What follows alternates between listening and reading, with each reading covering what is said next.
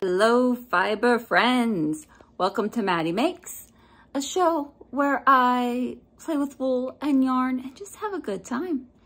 Um, this time, with the war going on in Ukraine, we are going to dye some wool to, you know, symbolize and support Ukraine. So I have this big tub of Cheviot raw wool behind me. I also have all the tools I need to do the dyeing. The big old dye pot.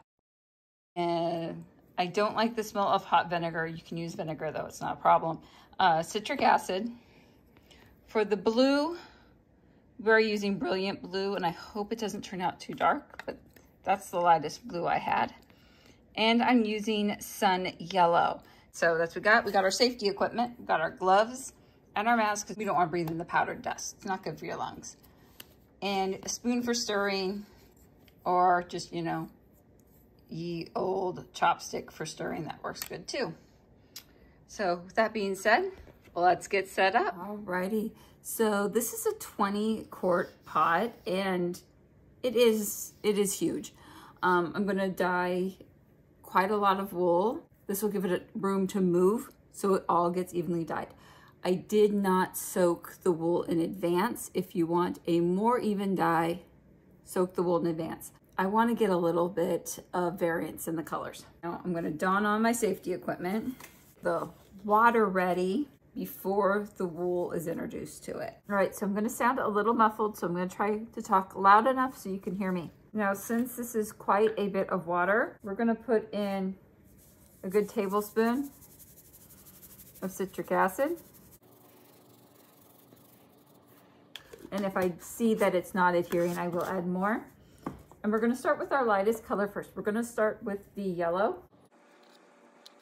I want quite a brilliant yellow, but I do not want it turning orange. So that should do it. If you have a smaller pot, use less. Getting the heat turned on. This is why you have throwaway chopsticks. They work really good for breaking these clumps of dye up. Don't use anything that you want to use for food. So we're going to work at getting this a little bit warmer and then I'll be back to you when it is all dissolved. Alrighty, welcome back. The dye is pretty much all diluted. The citric acid is also diluted, so it's completely safe to be maskless right now. Did leave the gloves on because I do not want yellow hands. Okay, we're gonna take a good clump of this wool gently push it down. Being dry, it should take the color really easy, not totally evenly. You can hear the air bubbles come out of it. Being a nice big pot, there will be a lot of room to move around. Now I'm just slowly pushing down, so very little agitation. And also another note with dyeing, um, kettle dyeing like this, do not let your kettle boil because that agitation will cause felting. Be mindful of how hot your pot is. Um, when I put this in, it was about 100 degrees. I have the little guy here. So now around 100 and Uh, around 100. There you go. 101, something like that. So I think that'll be a nice yellow. Definitely not sticking around yet. So I'm going to do one more row. I barely made a dent in this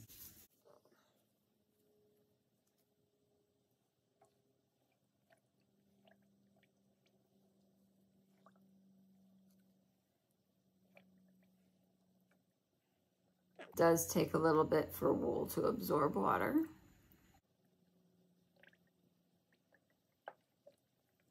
like there's anything in there at all. I hope you can see the air bubbles that are in the wool.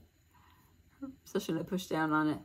Cool looking. So it's not boiling, really, it's just air trapped in the wool. Just teasing this piece open a little bit.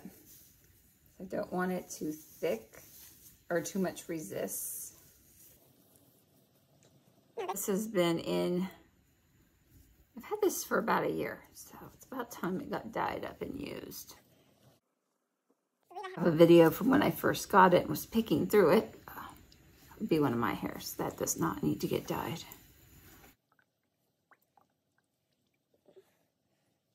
And definitely with the light yellow, you can see the veggie matter that's in here. No worries. We're going to put it through the box picker and that'll get a lot of this out. And then I will put it up on the drum carder. Like I said, those are, those are future videos. And how we arrange the colors will give us different, uh, different spins on it. So I want to get enough dyed where I can get you different um, carded batts and the batts are generally about two ounces. So that gives you enough to spin with, enough to create a project. All right, now I think I got enough in here. Worst comes to worst, I will just do a second batch. Then I can always blend them together. Now I'm setting the uh, spoon down on the old towel because it doesn't matter if it gets more color on it.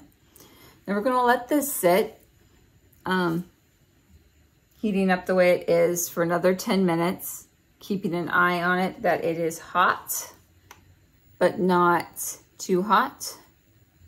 105, 106 right now at the top. But we know the bottom is hotter. So I'm gonna reduce that to like a three on my gas range. So that's low or medium side of low. And we're just gonna let it sit and I will see you in a bit. Welcome back. It's been 15 minutes and as you can see, it's super steamy and awesome in here. I did turn it down a little bit more because like I said, we do not want um, any felting, so any boiling.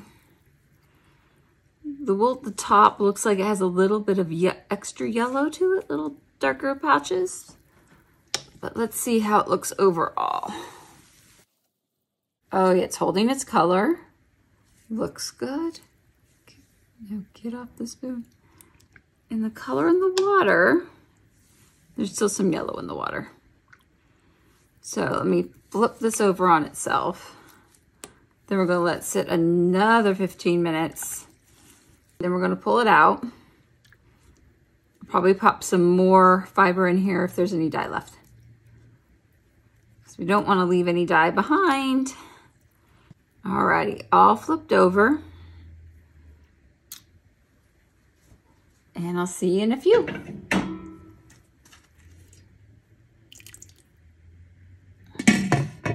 All right, so it's been in the pot over a half an hour. It's hot, it's steamy. I turned it down a bit more. It's evidently not too hot to touch. And you can smell the citric acid and the uh, dye. So let's look at this beautiful thing. The yellow stain. Yellow looks really good and vibrant. Still a little bit left in the water. I don't think any more is going to go into the fiber. So we're gonna turn it off and then I'm gonna pull this up and drain it out. All right, so I have a strainer and another container over here is going to be a little on the hot side. And I do want it to completely cool before I uh, wash it at all.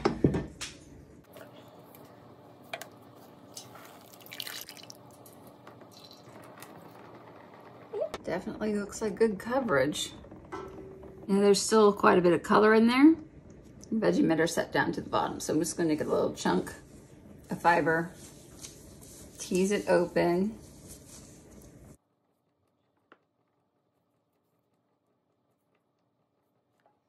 And this is just gonna pick up some really light drips of yellow.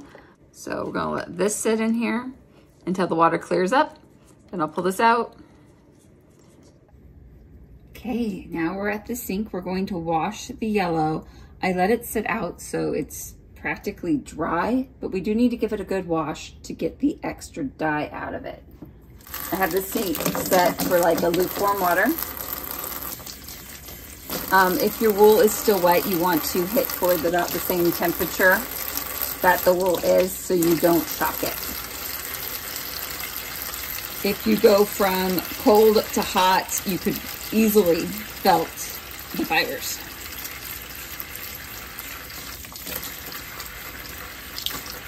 We're gonna wait till this gets, um, I know, third to a half full, and then I'll introduce the soap. I do not want a lot of suds. Um, I'm using um, Dawn, but pretty much any dishwashing detergent will work. Try to stay away from ones that have a lot of harsh colors to them. Um, this is Blue Dawn, but I have yet to have that stain anything. So our yellow should stay yellow.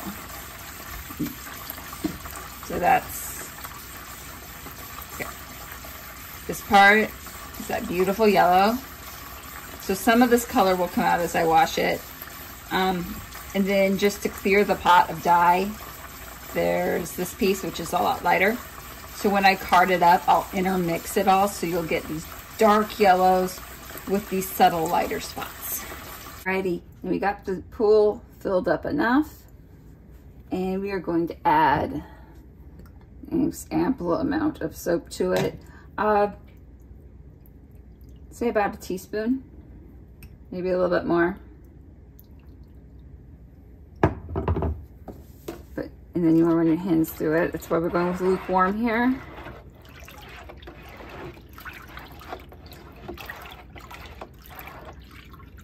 And this is just a cubby tray from Ikea, which is perfect size to fit in the sink.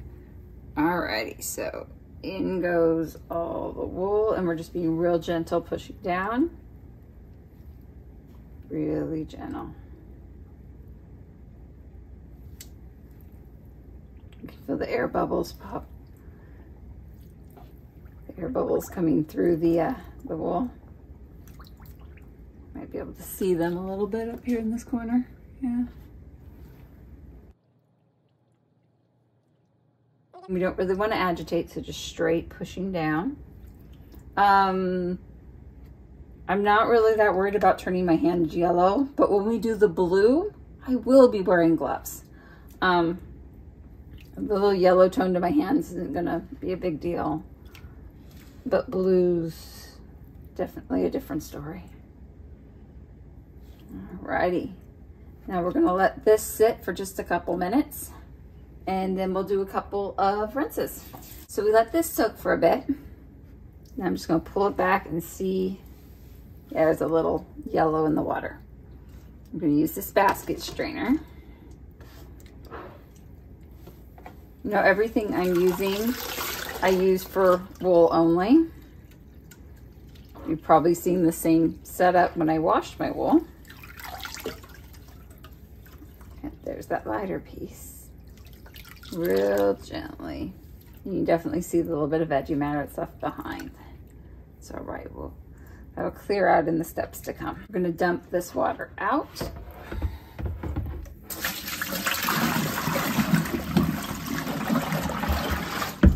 Now there's no lanolin in it to really speak of and just a little bit of dye. So it's completely safe for your septic system. Okay, let's rinse this out, start again.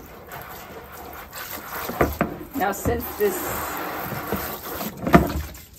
wool does have some veggie matter in it, I do rinse it out because every time I wash it or move it and get some of the um, grit out of it, I like to just totally wash it away.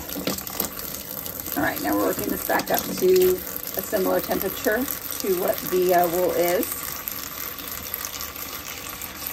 Alrighty, so this is our first rinse. You push the water out of it as best you can. And then gently, no automatic faucet, uh, put it all back in. Gently push, let the water run through.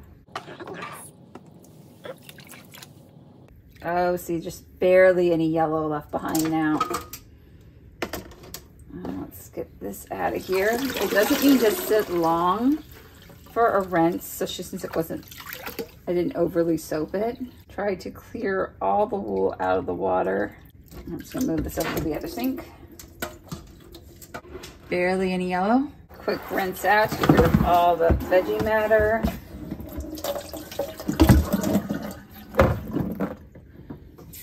Another bath trying to keep it the same temperature and that's just a hand fill. Um, if you're not that great at judging temperature with your hands, get one of those uh, heat temp guns. All right, let's let this fill up and I'll be back. It's the last rinse. Let's see if there's any yellow left behind. Now, since it's so sodden, it sinks right in really well. Move it around a little bit because any place that's really brightly colored is where um, there's probably a little extra dye that's gonna come out. All right, now the rake. Oh, and that is pretty clear. Now rake it the other way. You see how clear that is? There's veggie matter in there, but water's pretty clear. So I think I am done rinsing it before I play with it too much and felt it, because that's definitely what we don't want to do.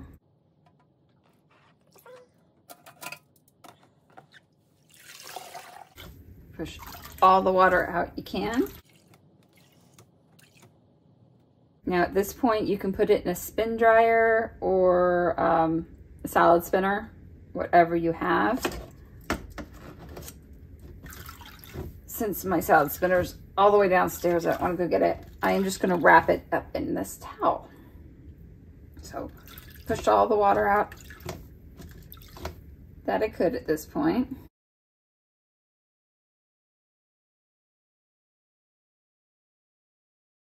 That is a lot of fiber that we dyed. Checking to see if we have any fiber left behind, and we do not. And just to get some of the extra moisture in it, I'm just gonna roll it up like a burrito or, you know, we were making like a rolled cake thing, that would be good too. And give a little squeeze to it. And most of that moisture is just gonna come on out. All right, now you're ready just to leave it on a rack and let it dry.